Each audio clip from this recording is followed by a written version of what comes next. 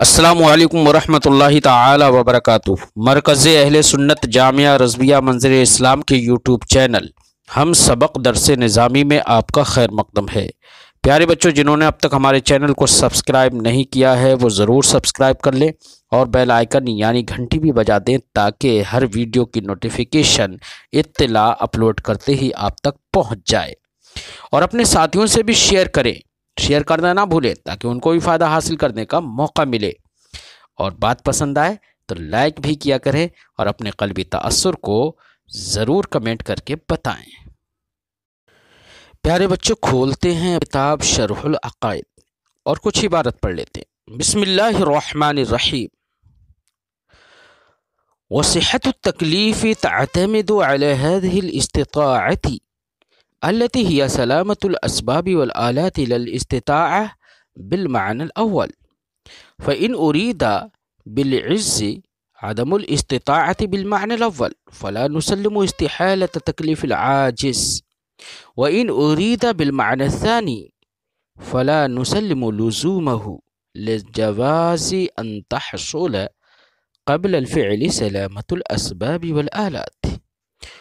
वइन lump तहसल हकीक़तलक़दरतलती बिहलफ़ल इला आखिरी इबारा प्यारे बच्चों, आज के इस सबक में साहिब मतन और साहिब शराह इस बात पर गुफ्तु करेंगे कि माकबल में हमने बताया था कि इस्तात के दो माना हैं। एक इस्तात उस कुवत और ताकत पर बोली जाता है, बोला जाता है लफ्ज़। जिस क़वत व ताकत के ज़रिए से या जिसके साथ बंदा फ़ेल के करने पर कादिर होता है। यानी जिसके ज़रिए से फ़ेल होता है, उस पर भी कुदरत का और इस्तात का इतलाक़ होता है। और इस्तात का इतलाक़ सलामती इसबाब आलात के माना में भी होता है। यानी आलात व इसबाब का दुरुस्त होना। साहिब मतन ने फरमाया कि तकलीफ़ का मदार यही कुदरत है। यानी आलात इसबाब का दुरुस्त होना ही ये तकलीफ़ का मदार है। तो अब इस्तात के दो माना हो गए बच्चों। एक इस्तात वो जिसके ज़रिए से फ़ेल मार्ज वजूद में आता है, जिसके ज़रिए से फ़ेल होता है, और एक इस्तात बेमाना सलामती इसबाब आलात। और जब साहबी किताब ने यह बताया कि तकलीफ़ का मदार यही इस्तात है, ये दूसरा वाला माना, यही तकलीफ़ का मदार है तो अब मतज़ला का इस्तदलाल का जवाब हो गया। इस्तदलाल उन्होंने यही किया था कि अगर इस्तात को फ़ेल से पहले ना माने तो तकलीफ़ तो फ़ेल से पहले होती है, मुकल्लफ तो बंदे को बनाया जाता है उसके करने से पहले। और पहले कुदरत और इस्तात माने नहीं तो तकलीफ़ आजिस लाजिम आएगा। तो हम कहेंगे, जनाब, आपने जो ये कहा, तकलीफ़ आजिस लाजिम आएगा, यानी कुदरत नहीं है बंदे को और उसको मुकल्लफ बनाया जा रहा है तो ये कुदरत ना होना इस्तात ना होने से आपकी क्या मुराद है? आया कि आपकी पहले वाले माना के एतबार से इस्तात मुराद है कि पहले वाले माना के एतबार से इस्तात नहीं है? यानी जिसके ज़रिए से फ़ेल होता है। उस माना कर आपकी इस्तात ना होना मुराद है या उस माना कर तकलीफ़ आजिज़? तो हम कहेंगे कि भाई उस माना कर इस्तात नहीं है तो तकलीफ़ आजिज़ भी तो मुहाल नहीं है उस माना कर क्यों? इसलिए कि वो इस्तात जिससे फ़ेल होता है, वो इस्तात तो मदार तकलीफ़ ही नहीं है।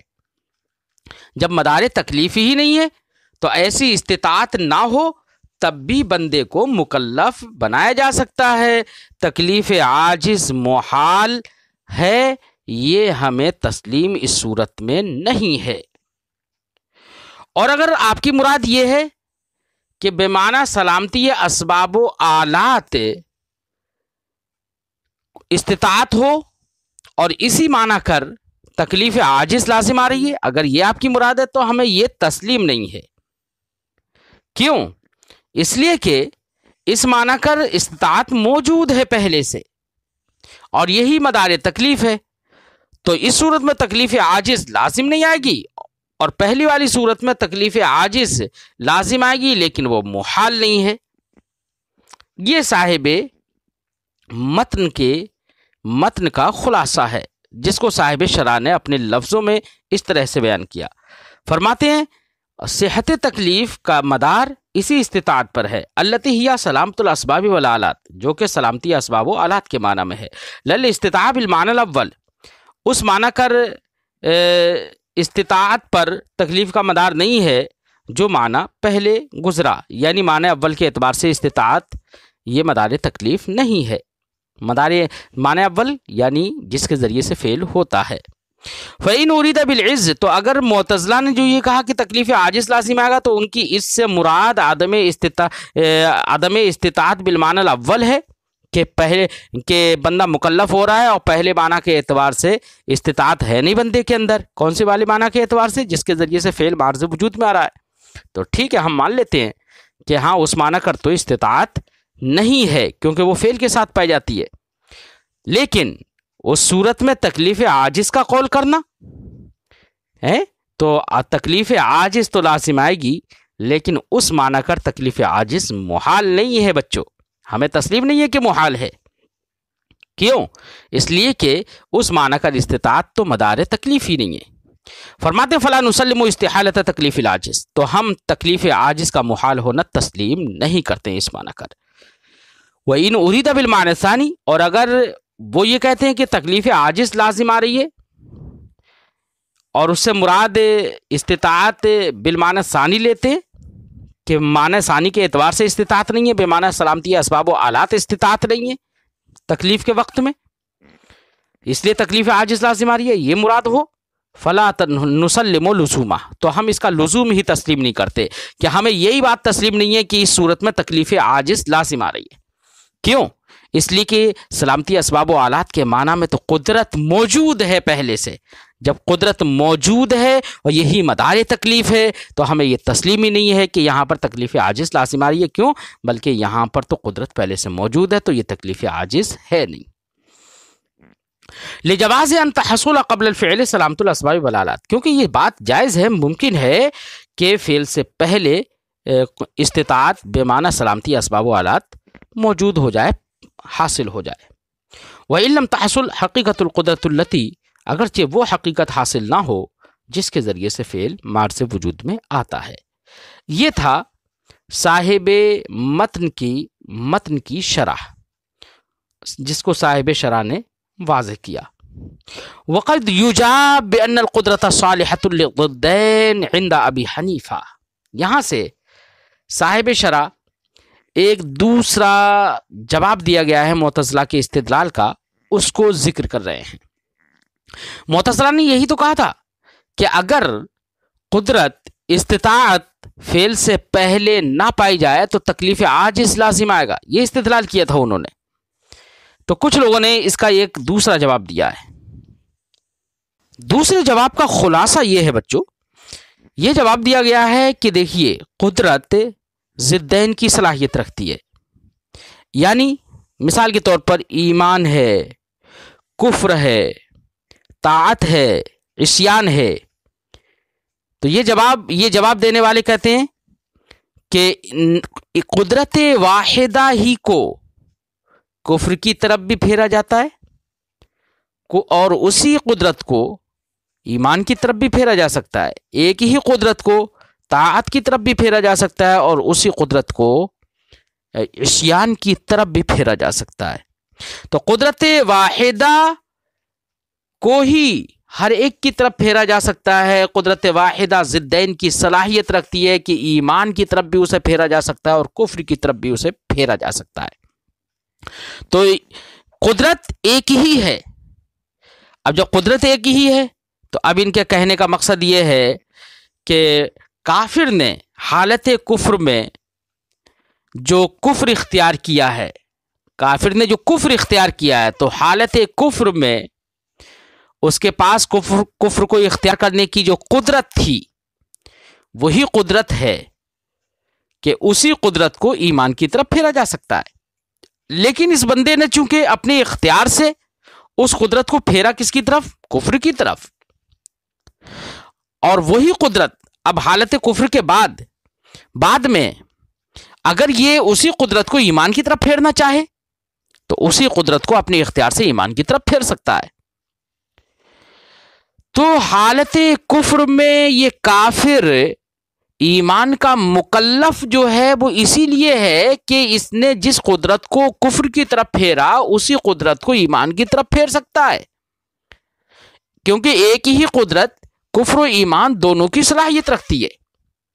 तो जब फेर सकता है ईमान की तरफ़ तो अभी ईमान ला नहीं रहा है, फेल मार्ज वजूद में आ नहीं रहा है। और वो कुदरत जिसके ज़रिए से ईमान ला सकता है, जिस कुदरत को ईमान की तरफ़ फेर सकता है, वो कुदरत हालत कुफर में मौजूद है। अब हालत कुफर में ये ईमान का जो मुकल्लफ है बंदा, वो इसलिए है क्योंकि कुदरत मौजूद है, क्योंकि कुदरत वाहिदा जिद्दैन की सलाहियत रखती है कुफर ईमान की, और कुफर की तरफ़ उसने अपने इख्तियार से फेर दिया। अब अपने इख्तियार से इसको फेरना चाहेगा तो ईमान की तरफ़ फेर देगा। इसलिए हालत कुफर में भी ईमान का मुकल्लफ है, क्योंकि इसके पास कुदरत मौजूद है। इसलिए तकलीफ़ आजिज लासिम नहीं आएगा। ये जवाब दिया है कुछ लोगों ने। साहिब शरा को यह जवाब पसंद नहीं है। क्यों पसंद नहीं है? उसकी वजह भी बताएँगे। फरमाते हैं, वक़द युजाब और कभी एक जवाब ये दिया जाता है मुतजला के इस्तलाल का बेन कुदरत सालहतुल्दैन कि कुदरत ज़िद्दैन की सलाहियत रखती है। एक ही कुदरत ज़िद्दैन की सलाहियत रखती है। इमाम आज़म अबू हनीफ़ा के नज़दीक। कुछ लोगों ने कहा है हती अन कुदरत मसरूफ़ कुफ्र यहाँ तक कि वो कुदरत जिसको फेरा गया है कुफ्र की तरफ़ बेआनहा वही कुदरत है जिसको ईमान की तरफ़ फेरा जाएगा।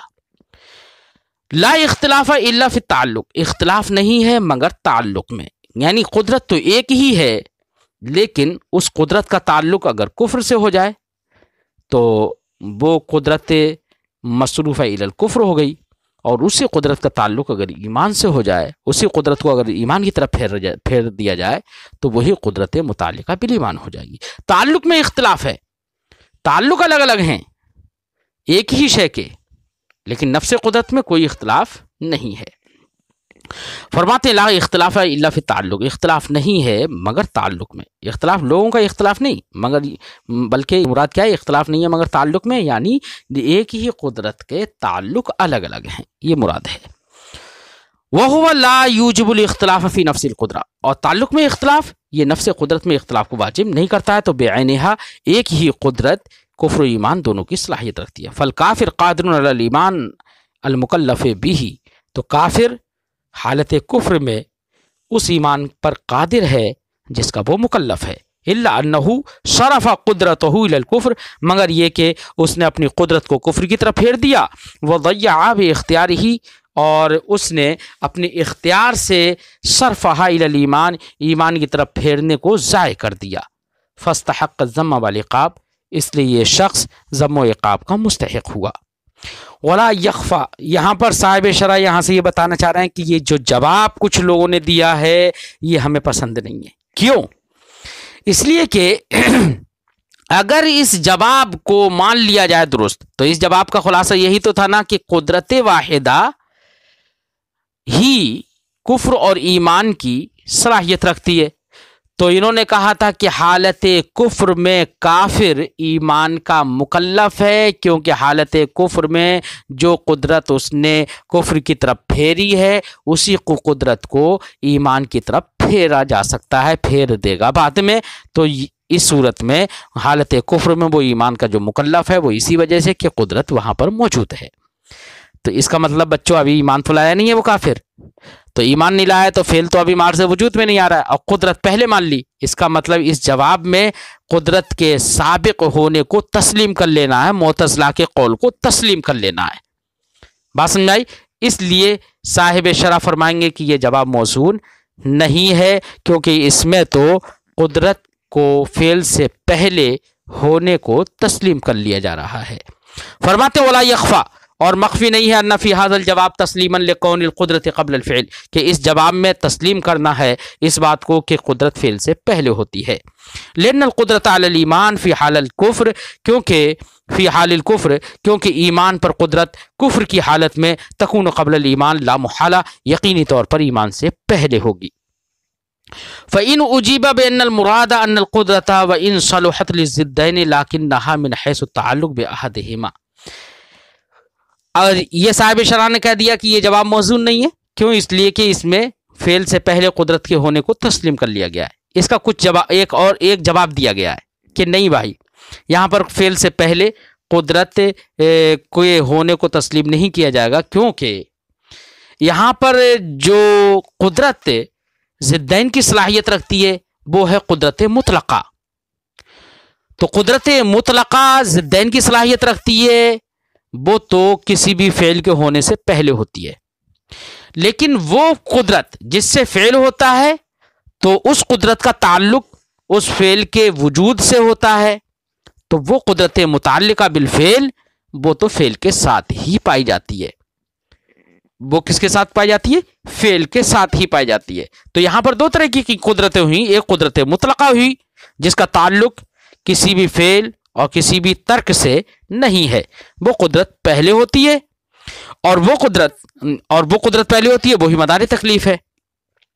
और वो कुदरत जिसके ज़रिए से फेल मार्ज वजूद में आता है तो यही कुदरत मुतलका जो पहले होती है, अगर इसका ताल्लुक किसी फेल के करने से हो जाता है तो ये कुदरत मुतल हो जाती है। और कुदरत मुतल ये फेल के साथ ही पाई जाती है। जब फेल के साथ ही पाई जाती है तो यहाँ पर इस बात को तस्लीम करना नहीं होगा कि कुदरत फेल से पहले है। क्योंकि कुदरत मुतल बिल फेल फेल के मुकारिन होती है। फरमाते फ़ैन उजीबा, अगर जवाब ये दे दिया जाए कि बेनल मुराद अनल कुदरत के मुराद के मुराद ये है कि कुदरत अगरचे, यानी कुदरत मुतलका अगरचे, ज़िद्दैन की सलाहियत रखती है, लाकिन नहा मिन हैसु ताल्लुक नहीं, लेकिन वही कुदरत मुतलका, ताल्लुक की हैसियत से कि जब दोनों में से किसी एक के साथ उसका ताल्लुक हो जाएगा, ला तकुन लमाहू नहीं होगी मगर उसी के साथ, यानी फेल से अगर ताल्लुक हो गया तो फेल के साथ होगी, और अदम फ़ेल से ताल्लुक़ हो गया तो अदम फ़ेल के साथ होगी।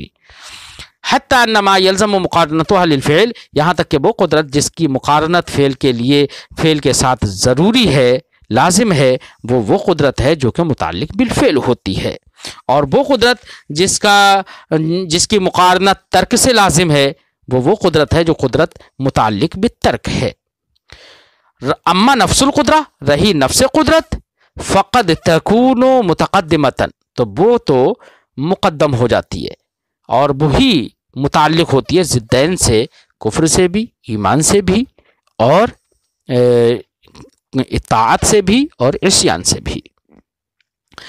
साहब शरा फरमाएँगे, फरमा रहे हैं कि ये जो जवाब कुछ लोगों ने दिया है कि कुदरत मुतल तो मुकारिन बिल, मुकारिन बिलफेल होती है, अगरचे कुदरत मुतलका मुकदम होती है। तो कह रहे हैं कि ये बात कहना, ये जवाब दे देना ये तो ऐसी बात है कि जिसमें तो कोई निज़ा ही मुतसवर नहीं होता है। क्योंकि निज़ा हमारे और मतजला के दरमियान उस कुदरत में है, जो जिस कुदरत, जो कुदरत फेल के साथ होती है। नहीं, जो कुदरत, जिस कुदरत की बिना पर फेल होता है, उसमें इख्तलाफ है कि जिस कुदरत की बिना पर फेल होता है, वो कुदरत मुकदम है या फेल के साथ है? तो अहल सुन्नत व जमात ने यह कहा कि वो कुदरत फेल के साथ होती है। और मोतज़ा ने कहा कि वो कुदरत मुतकदमा होती है, सबक होती है फेल पर, जिसके ज़रिए से फेल होता है। और जो आपने बात पेश कर दी कि कुदरत पहले कुदरत को मुतलका माना और कुदरत मुतलका को मुकदम माना, और फिर बाद में कहा कि कुदरत का ताल्लुक, इसी कुदरत मुतलका का ताल्लुक अगर फेल से होता है तो फेल के साथ होगी, तर्क से होता है तो तर्क के साथ होगी। तो कह रहे हैं कि ये जो आपकी बात है, इसमें तो निज़ा ही मुतसवर नहीं है। बिल्कुल भी निज़ा नहीं होगा। क्या नहीं होगा? बिल्कुल भी निज़ा नहीं होगा इसमें मुतसवर क्योंकि मोतजला भी इस बात का इतराफ़ करते हैं कि मिनहस ताल्लुक़, यानी जब कुदरत का ताल्लुक़ फेल से हो जाता है तो वो कुदरत मिनहस ताल्लुक़, फेल की मुकारिन भी जबान हो जाती है। तो मुकारन बिस ज़मान फ़ेल से मुतक होकर वो कुदरत फ़ेल से, फ़ेल के साथ हो जाती है, फ़ेल के मुकारन बिस ज़मान हो जाती है, इसका तो एतराम मोतजरा भी करते हैं। तो इसमें तो निज़ा ही मुतसवर नहीं होगा। निज़ा तो उस कुदरत में है। जिसका तार जिसके ज़रिए से फेल होता है और फेल से वो मुतालिक ना हो तो ऐसी सूरत में वो कुदरत जिसके ज़रिए से फेल होता है, वो कुदरत पहले होगी या कुदरत फेल के साथ होगी। तो इसमें निज़ा है। यानी कुदरत को तकदम ज़ाती हासिल है या नहीं है फेल पर, इसमें निज़ा है। मुकारनत बिस ज़मान के कायल तो मोतसला भी हैं। फरमाते, कुल्ला, हम जवाब देंगे, हम कहेंगे, हाद अमिमला यू तस्वरफ़ी है निज़ा। ये आपने ऐसी बात कह दी है जिसमें निज़ा ही मुतसवर नहीं होगा, बिल्कुल भी मोतसला की जानब से, क्योंकि वो भी उस कुदरत की मुकारनत के कायल हैं, एतराफ़ करते हैं, जो कुदरत फेल से मुतल हो जाती है। बल हो मिनल कलाम, बल्कि यहाँ पर जिसमें इख्तलाफ नहीं है, ऐसी बात पेश करना, ये लघव कलाम है। ये बेफ़ायदा कलाम है। फल यतमल यतमल तो चाहिए कि ऐसा जवाब देने वाला शख्स गौर करे। बात समझ में आ गई बच्चों? आज की गुफ्तु हम यहीं पर ख़त्म करते हैं। फिर आंदा सबक में मिलते हैं। असल वरहमल वर्का